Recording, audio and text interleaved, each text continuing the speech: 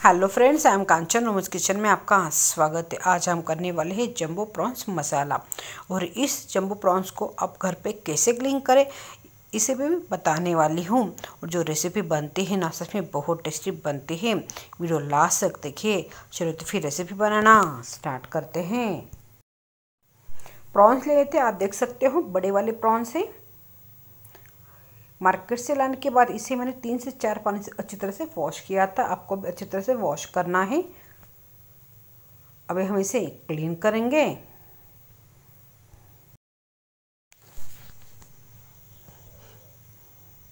यहाँ पे मैंने लिए एक सीज़र और सीज़र से हम इसके पैर काटेंगे। आप देख सकते हो इस तरह से।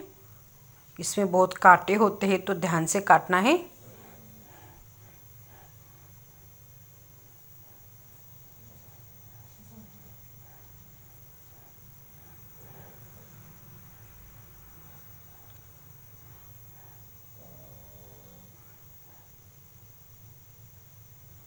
अभी हम इसका नीचे का भाग काट लेंगे।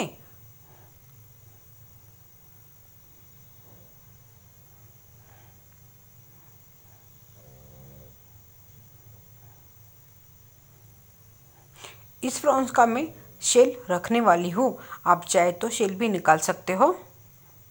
लेकिन शेल के साथ जो ग्रेवी बनती है ना, बहुत टेस्टी बनती है, इसलिए मैं रखने वाली हूँ।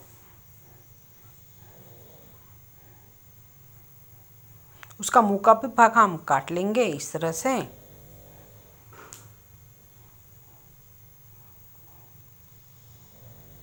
अंदर से कट देंगे।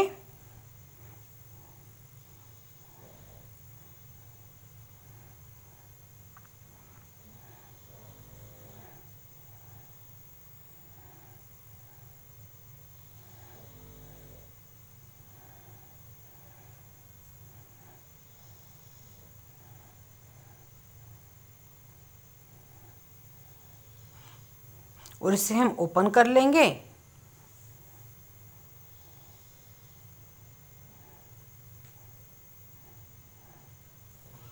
उसके अंदर जो काला वाला धागा होता है ना, उसे आपको निकालना है।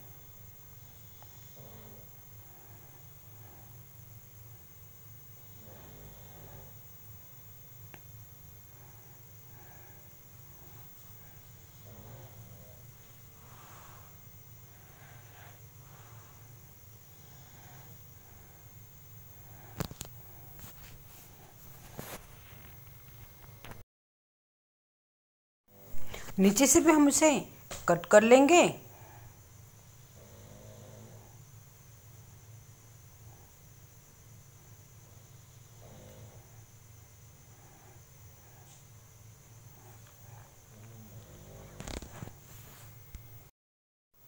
प्रॉन्स को हमने अच्छी तरह से कट कर लिया है। इसके ऊपर मैं रखने वाली हूँ हल्दी और नमक। और इसे हम मैरिनेट होने के लिए छोड़ देंगे आधे से एक घंटे के लिए।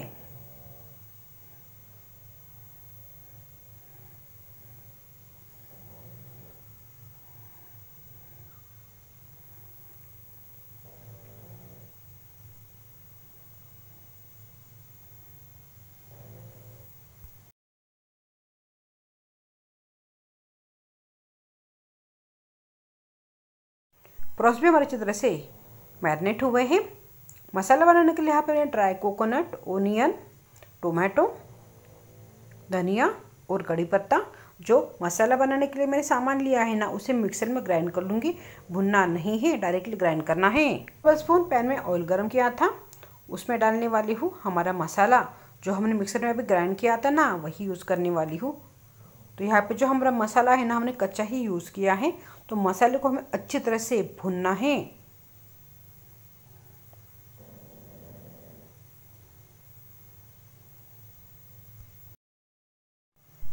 अब इसमें ऐड करने वाली हूँ धना जीरा powder one tablespoon garlic और जिंजर की पेस्ट और वापस हम इसे भुनेंगे। मसाला हमारे अच्छी तरह से फ्राई हुआ है, इसमें ऐड करेंगे सूखे मसाले तो लाल मिर्ची पाउडर, गरम मसाला पाउडर, हल्दी पाउडर। मसाला आपके हिसाब से यहाँ पे कम ज़्यादा कर सकते हो। और मसाला डालने के बाद हम इसे दो से तीन मिनट के लिए अच्छी तरह से भूनने वाले हैं। जब तक साइड से ऑयल नहीं निकलता ना, तब तक हम भुनेंगे।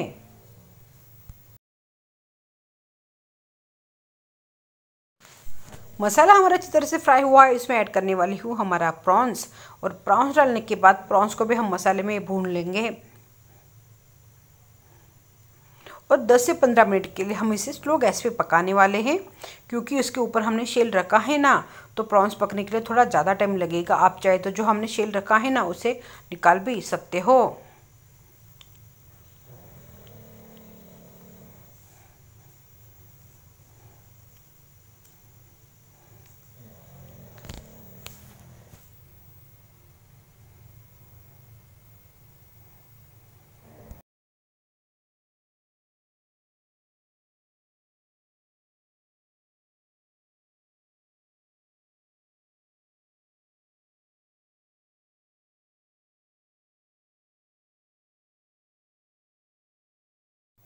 दोनों साइड जो हमारा प्रॉन्स है अच्छी तरह से पक गया है।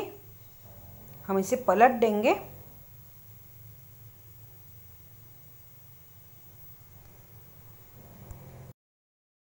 यहाँ पे हमारा सूखा, जबो प्रॉन्स खाने के लिए रेडी हो चुका है, हम इसकी प्लेटिंग कर लेंगे। आप देख सकते हो कितना यम्मी दिख रहा है।